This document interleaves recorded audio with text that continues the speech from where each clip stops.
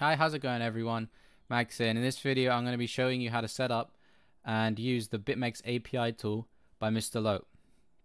So the first step is going to be that if you currently have the stop loss tool set up and installed, we're just going to have to delete uh, one of the PHP files because we're going to be installing PHP via the web platform installer. So you won't actually need that previous file added. So control panel. So this step's only for people who currently have the stop loss tool installed. So control panel, system, advanced system settings, environmental environment variables, path, edit, and then that PHP we put in last time, we're just going to want to delete it. Okay, okay, okay, okay. So now we're ready to set up and use the BitMEX API tool by Mr. Low. Okay, so we're opening up the tool now. Let's go to open up the README. And then we're going to do the step one. So we're going to be installing PHP 7.03 times 64 using the web platform installer. So we need to install the web platform installer. So you want to go to this page here and hit this install ex extension. I already have it installed, so I'm not going to be doing this step, but once you have it installed, join me on the next step. So you have it installed now. Let's open up Microsoft Web Platform Installer. Yes, we allow it to make changes to our device.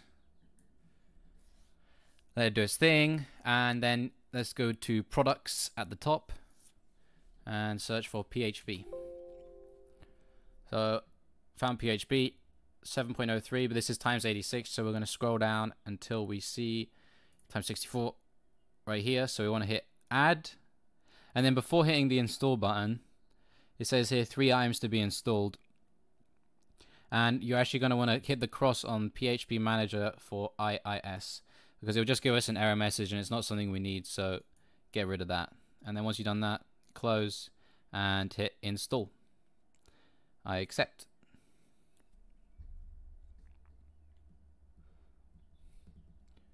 Dun, dun, dun, Let it do its thing.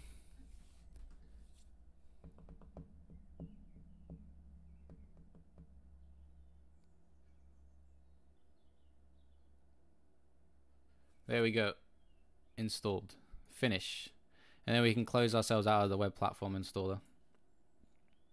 Okay, now we're ready for the next step. So the next step is adding API key and API secret key into the config.ini. Config.ini is this one right here. Open that up. So you can see I already have my API key in here and my API secret key in here. If you don't know how to get your API keys or create an API key, I'll quickly drag over BitMEX here you want to go to account at the top right and then look down and then under account and preferences you want to hit API keys and then create an API key. As you can see here that my API key is here the one I have in the config file. And don't worry I will be deleting it after I make this video. So we have our API key put in the file then. So you put your API key in there API key in there. I think you get it. The config file is also where we'll be changing uh, future contracts. So once these roll over and the the beginning that I think the next one is Z, you just change it to a Z where the you know the M was previously. That's that's it. And then you can change the default amount and the scalping amount and the scalp stop loss amount. You'll see what this is all about in a sec once we have the tool set up. So let's do the next step because we now have our API keys where they should be. So the next step is then taking all of this and putting it in our inet pub www root file. So C colon backslash inet pub. Enter. There we go. So we then go to www root and all you could do is you take this with your config file with your API key in and plop it in there just like that. Awesome. And now we're ready to log into the tool. So take this localhost bitmex.php. If you have a web server, then you can use this instead and you have that all set up. But for this video, localhost bitmex.php, copy that. And then say, let's go over to our browser here and paste and go. And voila, As you can see here, got the BitMEX Mr. API tool all set up nicely, right? And it's ready to go and working. Okay, I'm now going to go through demonstrating the scalp order XBT market and the scalp order XBT limit. So first of all, you choose the pair. So XBT USD is perp, and then you have the futures M19, U19. You then choose 100x or 50x. And what this tool will do, it will put in a stop loss for you and profit targets, two profit targets, and you can change this all around, you know, where you want the profit targets, how much it is in the config file. So we'll do 100x, we'll do 500, and we'll do a sell. So I'm going to be hitting the sell button in a sec. I'm going to quickly change the scene so you guys can see it live on Mex. So sell. And there we go. We sold at market. Let's look over on Mex. We sold at market. We have a stop loss at 72.87. We're in short at 72, 73.5. And you can see the automatic profit targets 72.15, 71.86.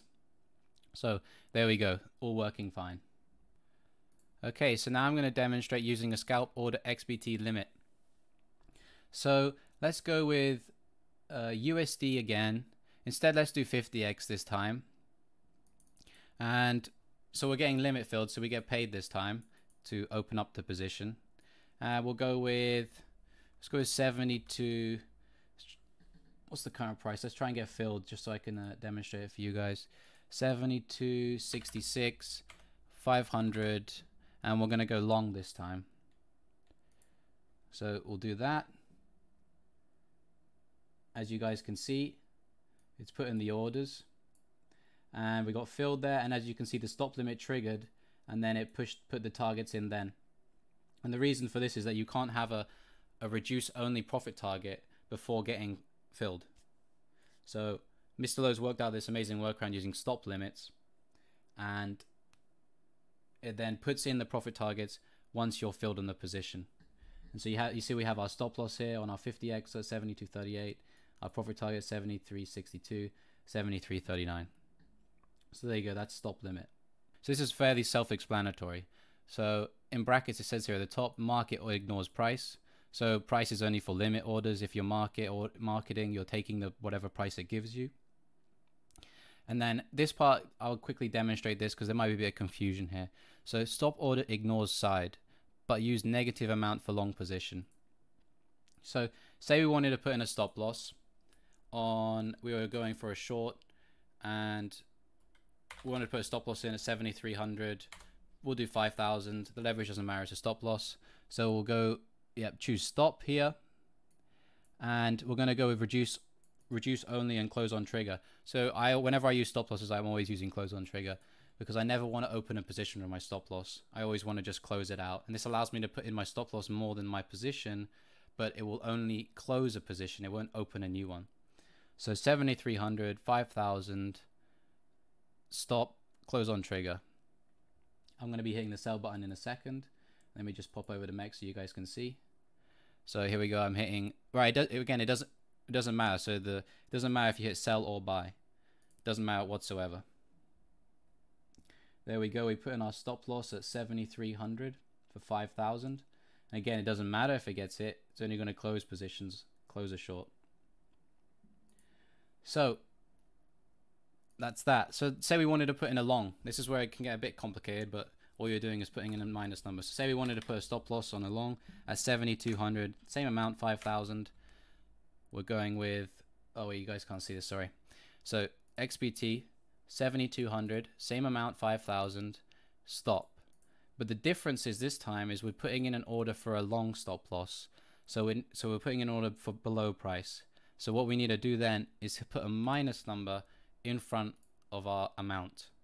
And then again, we can hit sell or buy, close on trigger, sell or buy, doesn't really matter. Put that in. Let's go over to MEX. And there you can see at 7,200, we have a 5,000 stop loss. So there you go. That's how to do it there. Okay, now I'm going to go through what I think is one of the best features of the tool and the, the part I use the most, and that is ladder, ladder orders. So this allows you to put in laddered orders on any pair. So you pick a start price, you pick an end price, and then you choose the amount and the number of orders you want, and it will put in multiple orders at the same time in that range you selected. And then it also allows you to put in a stop loss for that order. And you can also put in order size increase so that you want bigger orders at the end or do you want bigger orders, you know, the beginning for your fills. So let's do an example. Let's head over to Mex. See the, the, the scalp we did earlier is doing all right. And let's pick, let's go with, should we go with ADA? Let's have a look at ADA. Okay, so say for example, this is all for example, it's not, I'm not saying do this trade, whatever. Say for example, we trusted this low here on ADA. We like this bottom it found here. So we like that as our stop loss. And we want to scale in, but we don't want to buy it up here. So say we want to scale in. Yeah, so we'll go, see if we want to scale in in all of this range. So let's choose our, the bottom part and then our top price yeah we'll go with go with here so we're going to start at 1008 943 and then our stop loss at 922 so let's head back over to the tool. Well, actually first let's copy the, the current price so we know the number of decimals. So we'll copy. Head back over to the tool.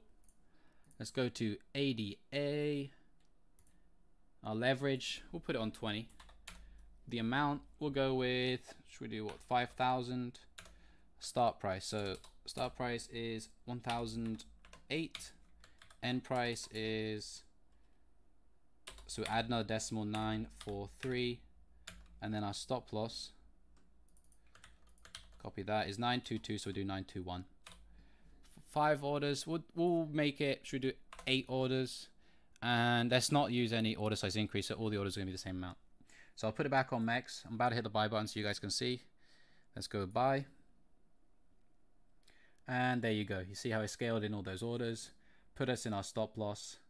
And then you can put in your, your targets as well. And once you get filled, you put in reduce only targets. And that's it. That's it. That's how you set up the laddering orders.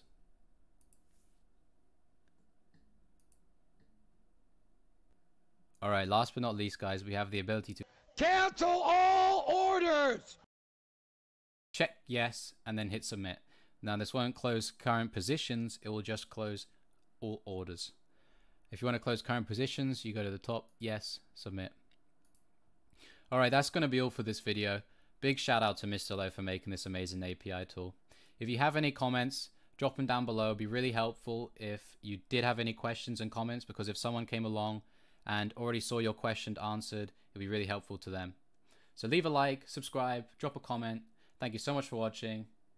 Peace.